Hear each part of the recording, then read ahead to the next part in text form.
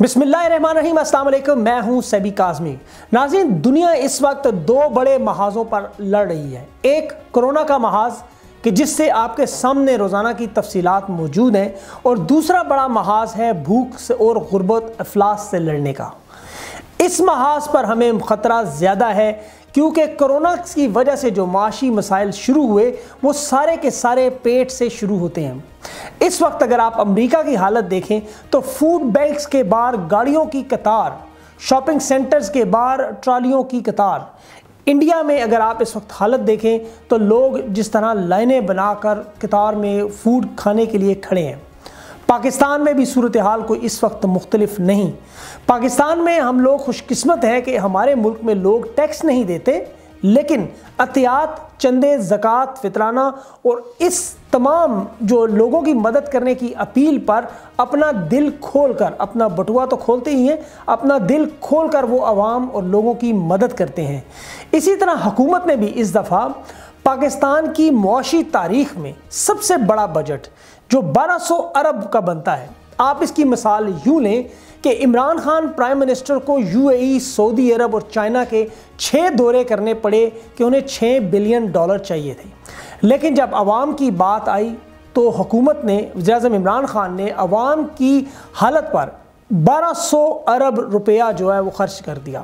سی N N نے اس کو اور دنیا کے جو بڑے ادارے ہیں، انہوں نے اس چیز کو بڑا ہائی لائٹ کیا کہ ایسی اکنامک سچویشن میں ایک ملک جو کہ اپنی بڑی مشکل سٹرگل اکانومیکل سچویشن پر ہے، وہ اپنے لوگوں کی اس طرح کیسے مدد کر رہے ہیں دوسری طرف اگر آپ بات کریں جو بڑے لوگ کام کریں ہیں، تو پاکستانی نژاد باکسر عامر خان، وہ انگلینڈ چھوڑ کر پاکستان آ کر لوگوں کی مدد کر رہے ہیں۔ وہ اکیڈمیز جو انہوں نے بنائی تھی باکسنگ کے لیے، وہاں پر فوڈ کا راشن رکھا جا رہا ہے وہاں پر۔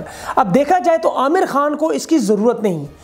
جہاں پر وہ رہتے ہیں، انگلینڈ میں وہ آلریڈی اپنی ایک بڑی مارکیٹ لوگوں کے حوالے عوام کو، سوری، حکومت کو وہ آفر کر چکے ہیں کہ آپ یہ بڑا شاپنگ سینٹر جو میں لینے جا رہا ہوں، آپ اس میں یہاں پر اسپتال بنا لیں، لوگوں کے لیے مدد کر سکیں۔ اور دوسری طرف وہ پاکستان آ کر دس ہزار خاندانوں کو راشن پرووائڈ کرنے کی کوشش کر رہے ہیں۔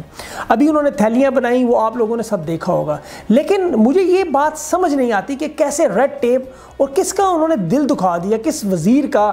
کس حکومتی مشینری میں بندے کا دل انہوں نے دکھا دیا کہ انہیں show cause notice Pakistan sports board نے بھیج دیا؟ انتہائی شرم کا مقام ہے اور یہ انتہائی جو اوورسیز پاکستانی، پاکستان کی جا کے مدد کرنا چاہتے ہیں، یہ ان کے دل توڑنے والی بات ہے۔ اس لیے میری، آپ لوگوں سے جب یہ پروگرام دیکھیں تو آپ سے یہ اپیل ہے کہ آپ کائنڈلی اس کو شیئر کریں۔ میں بھی ارباب اختیار تک انشاءاللہ ضرور یہ بات پہنچاؤں گا کہ عامر خان جیسے لوگ پاکستان کی مدد کے لیے آگے آ رہے ہیں۔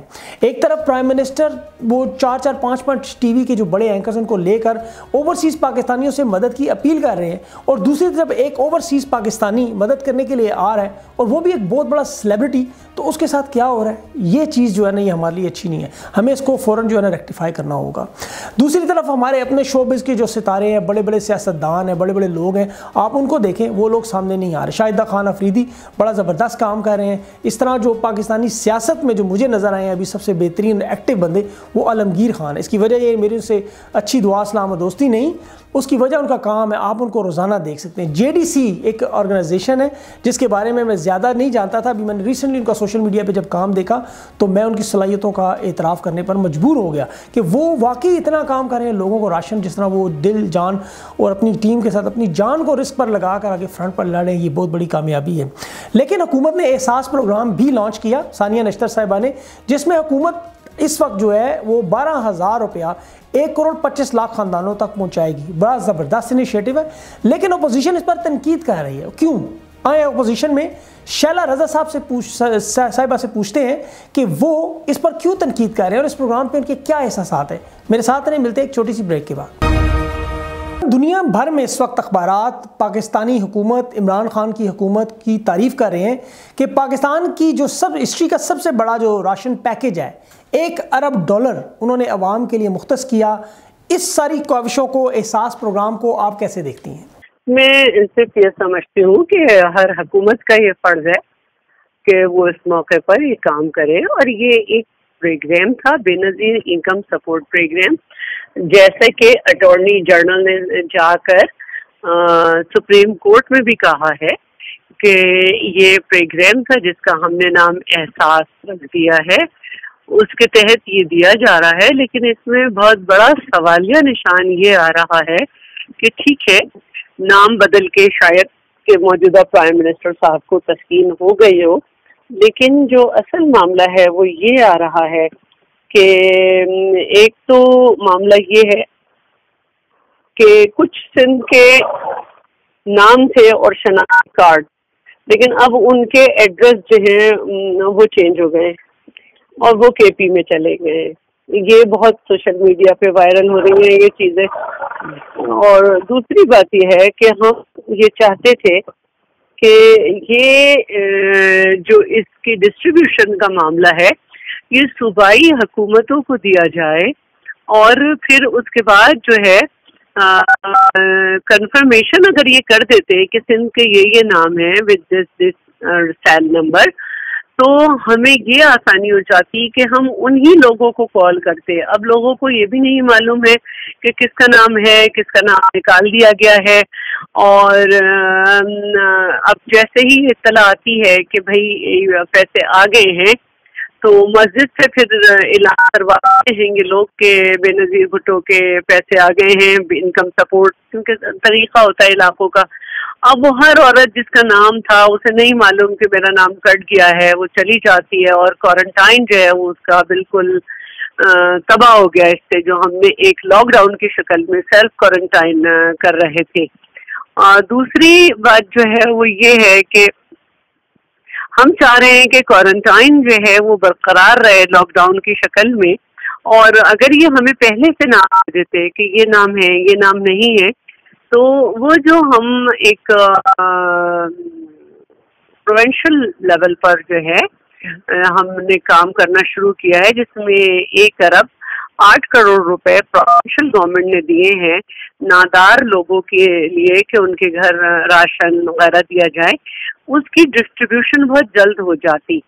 تو یہ بڑا مسئلہ ہے اور چونکہ انہوں نے نام روکے ہوئے ہیں نادرا ٹیلی کام اور پی ٹی اے کو منع کیا ہوا ہے تو جی۔ اس سے سندھ حکومت کا کام تو ذرا متاثر ہو رہا ہے لیکن یہ ہے کہ عوام بھی پریشان ہو رہی ہے اب سندھ حکومت نے ایک کام کیا ہے کہ ڈسٹریبیوشن کے لیے جو ہے راشن کے یونین یونین کانسل کے chairman, deputy chairman, ward councillor مختلف پارٹیز کے لوگ جو ہیں، ان کو انوالو کیا ہے اور اس طرح نام نکالے ہیں۔ اب ہم دیر نہیں کر سکتے تھے۔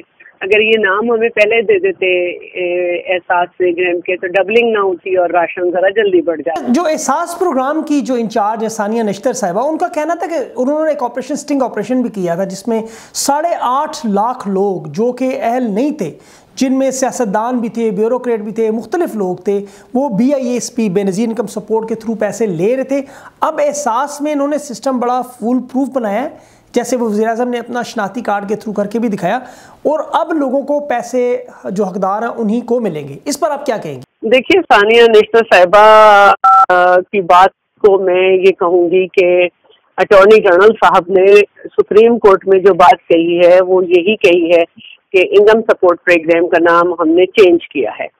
اب جو انہوں نے لوگ نکالے ہیں، میں ہر نام پہ تو اعتراض نہیں کر سکتی، لیکن اگر ہمارے پاس کچھ کیسز ہیں، جس میں ایک سات سالہ ویڈو خاتون ہے اور اس کا نام نکال دیا گیا ہے، تو ہمارے لیے پھر یہ تشویش کی بات ہے اور موسٹلی نیم سم سے نکلے ہیں۔ تو یہ صورتحال بڑی عجیب سی ہے۔ کیونکہ جب یہ انکم سپورٹ پروگرام تھا، تو اس میں اگر کسی کے ہاں پی ٹی سی ایل کی لائن ہے پکا ہے، یا میں کسی شخص کا پاسپورٹ بنا ہوا ہے، یا گورنمنٹ کی جاب ہے، تو اس کا نام نہیں آ سکتا تھا۔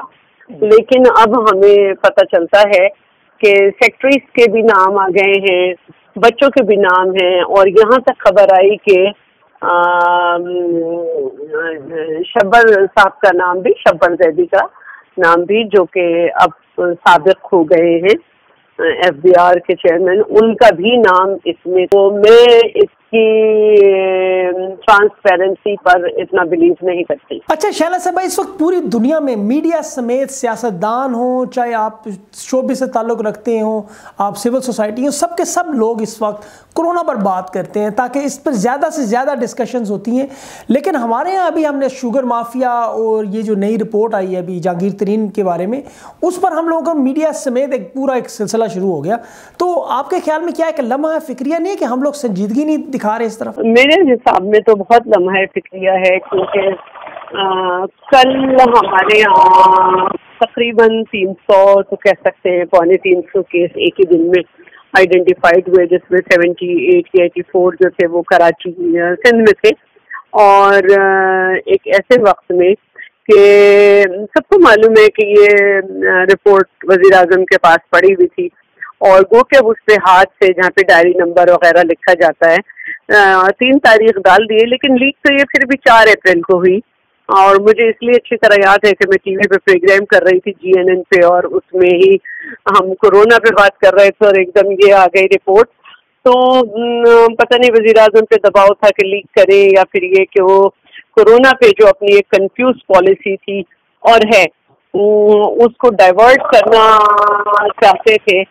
تو انہوں نے جو ہے وہ یہ پالیسی جو ہے وہ یہ رپورٹ جو ہے وہ اس طرح سے نشر کر دی۔ اچھا شیلا صاحب شاہد خان، آفریدی ہو گئے عالمگیر خان ایک ایم این اے ہے جو بہت زیادہ ایکٹیو نظر آ رہے ہیں۔ اس کے علاوہ باکسر عامر خان برطانیہ سے اٹھ کر پاکستان مدد کرنے آ گئے۔ لیکن عوام کو گلا ہے کہ ان کے جو سیاستدان ہیں جن کے پاس ووٹ کا سارا ریکارڈ ہوتا ہے، حلقے کا ریکارڈ ہوتا ہے، لیکن اس موقع پر وہ لوگوں کے پاس نہیں آ رہے، انہیں راشن مہیا نہیں کر رہے۔ اس پر آپ کیا کہیں گی میں سمجھتی ہوں کہ یہ ایک غلط قسم کی بات ہے، کیونکہ ابھی تک جتنی امبات ہوئی ہیں، وہ کورونا ہوئی ہیں، بھوک سے نہیں ہوئی ہیں، معاف کیجیے گا۔ اور کراچی میں تو یہ بھی صورتحال ہے کہ کچھ لوگوں نے اتنا راشن کر لیا تو ان کو گرفتار کیا گیا، وہ بازار میں بیچ رہے تھے۔ اور ہم نے جو ہے تمام ویلفیئر آرگنائزیشن کو آن بورڈ لیا شروع میں جب ہم فوڈ سیکیورٹی پہ کام کر رہے تھے سندھ حکومت کی میں بات کر رہی ہوں جی۔ تو انہوں نے بہت اس سے کہا کہ جی ہمارے پاس تمام لوگوں کی لسٹ ہے اور چونکہ ہم نے جب شروع کیا تھا لاک ڈاؤن تو مارچ کی تنخواہ تقریباً لوگوں کو مل چکی تھی۔ آپ کی بات بھوک سے الحمدللہ ابھی تک کوئی نہیں مرا لیکن کیا ہم اس چیز کا انتظار کریں گے؟ ابھی امریکہ سے لے کر آسٹریلیا تک پاکستان ہو ہندوستان ہو ہر جگہ پر لوگ اس وقت راشن کی لائنیں لگی ہیں فوڈ کی شارٹیج ہے۔ تو ایسے میں آپ کو نہیں لگتا کہ یہ مسئلہ اتنا بڑا ہے؟ پاکستان میں پہلے ہی میل نیوٹریشن کافی ہے لیکن اگر جس علاقے میں میل نیوٹریشن ہے سر میں سب سے زیادہ تو آپ وہاں جائیں، آپ کو وہاں کے لوگ دوسرے پڑھے لکھوں سے زیادہ کہ میں کہوں لاہور بیریا ٹاؤن یا لاہور ڈیفینس، ان سے زیادہ سبل نظر آئیں گے۔ اور وہ خودکشیاں جو عام دنوں میں گھر میں ہوا کرتی تھیں، وہ ہمیں کم نظر آ رہی ہیں آج ان دنوں۔ اور لوگوں کو اگر راشن دیا جاتا ہے تو وہ ڈسٹینس مینٹین کرتے ہیں اور سب کرتے ہیں۔ تو حکومت سندھ نے ایک ایپ بنائی ہے اور ساری ویلفیئر آرگنائزیشن کو اپنے ساتھ ملایا ہے۔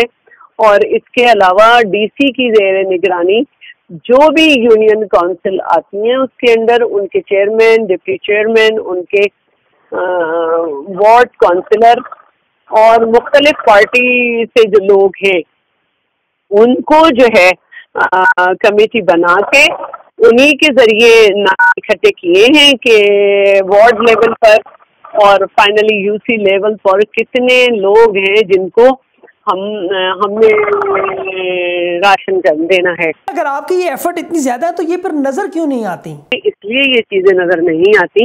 نہ تو ہم عمران خان جیسا کام کرنا چاہتے ہیں کہ سات منسٹر اور عمران صاحب مل کر ایک ڈبہ بانٹے اور اس پہ ہمارا نام ہو۔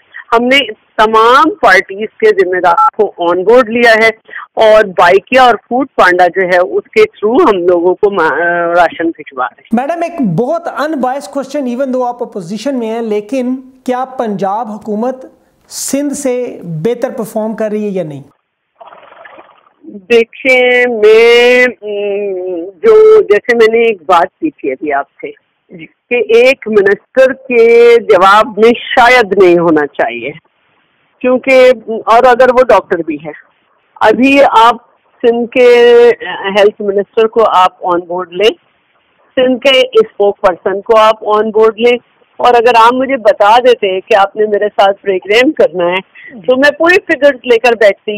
یہ اب ہمارے لیے بڑا مشکل ہے۔ اگر ہمارے پاس یہ لسٹ آتی جو ہم نے وفاق سے مانگی تھی کہ ہمیں دے دیں کہ آپ کن کن لوگوں کو انکم یہ جو انکم سپورٹ کے نام ہے یا احساس جس کا اب آپ نے نام رکھ دیا ہے، تو ہم ان لوگوں کو ڈسٹریبیوٹ کر دیتے اور باقی لوگ جو ہیں ان کو انہوں نے دینا شروع کر ہی دیا ہے کل سے۔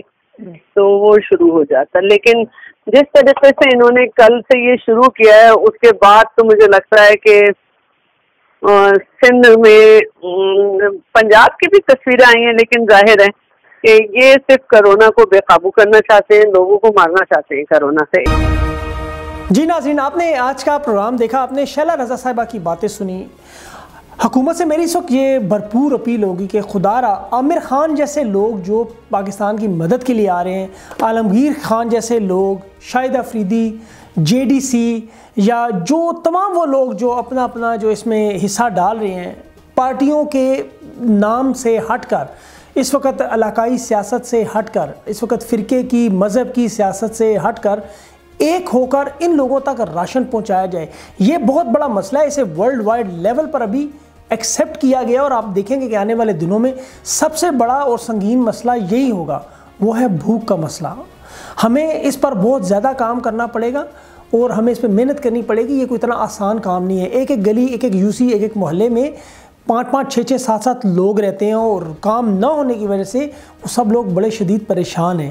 ان لوگوں کی مدد میں بڑھ چڑھ کر حصہ ڈالیں اور اس وقت سیاست کو تھوڑی دیر کے لیے سائڈ پر رکھ دیں۔ پروڈیوسر جمیر حسین کے ساتھ ٹیم سیبی کاظمی کو اگلے پروگرام تک لیے اجازت دیں۔ اللہ حافظ۔